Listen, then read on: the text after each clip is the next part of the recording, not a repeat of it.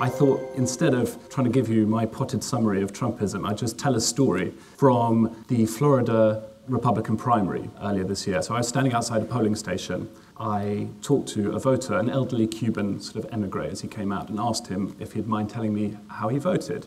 And he said that he preferred Donald Trump, but that he had voted for Ted Cruz. He said, Well, this country needs a dictator, which is why I wanted Trump to win. But I didn't want to blame myself if the country did get a dictator, so I voted for Ted Cruz. then, then the next voter I talked to was a lady who worked for the federal government, and she explained that she'd voted for Marco Rubio, um, senator for Florida, and a kind of noted small government uh, conservative, and she'd voted for him because she was fed up with cuts to the federal government's budget. What I think you take from that story, what I took from it at least, is that what happens in an election is really, really complicated. Understanding what goes on inside the head of a single voter is complicated. There's a ton of political science out there that shows that people don't actually follow the model that we like to sort of think of as being how democracy works, which is that everybody informs themselves about the policy positions of the various candidates and makes a call on who has the best ideas for running the country. What tends to happen instead is that people make their minds up about whether they like the candidates or not, and then in their own minds kind of transmute their policies to fit their own um, ideas. I think the first bit we have to do is try and understand why he won.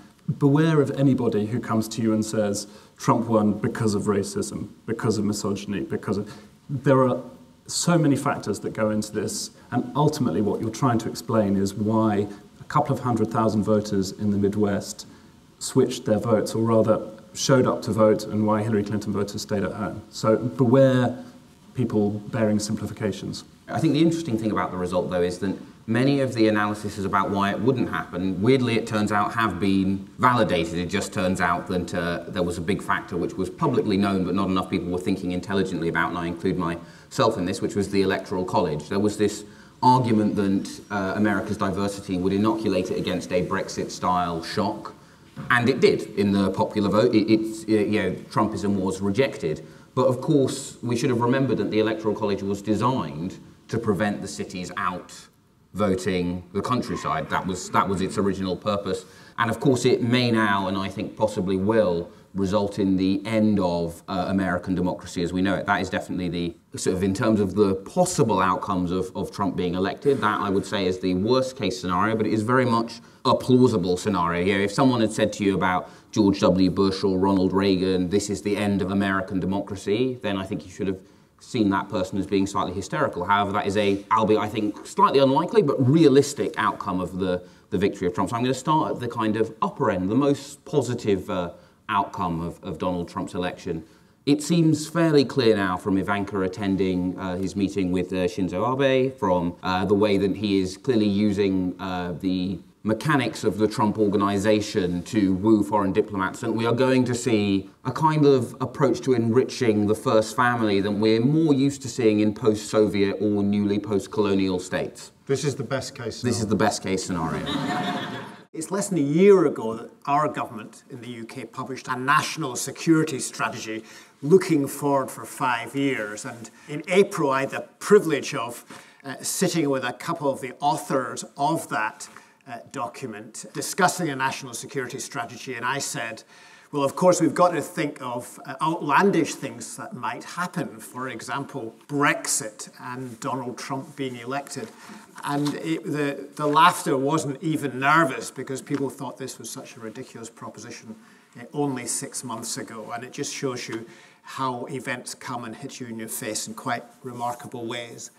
It all remains to be seen uh, where Trump will go. My instinct is that on climate change, he will mark a radical break uh, with the Obama administration. I think that's very clear, and he has a strong support of the Republican Party for that. I think he'll mark something of a break on trade, but I think that was already happening, and Clinton had rejected major trade deals already because of the popular pressure for something to be done in that. But on security, I think there could be more continuity than people believe. Uh, on Russia, I think there will be an attempt at a reset with Russia. Trump, I think, will push that despite the views of most of the Republican Party in Congress.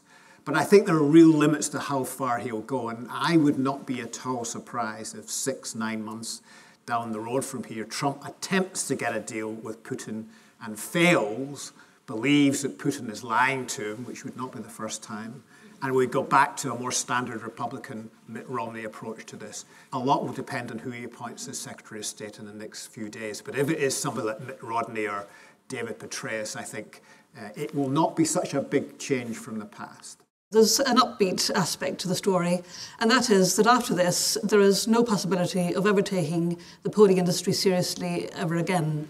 I'm looking forward to a collective um, exercise in Harakiri on behalf of the um, industry, um, and I've been waiting for that since the Brexit vote. It has yet to happen, but um, I remain confident.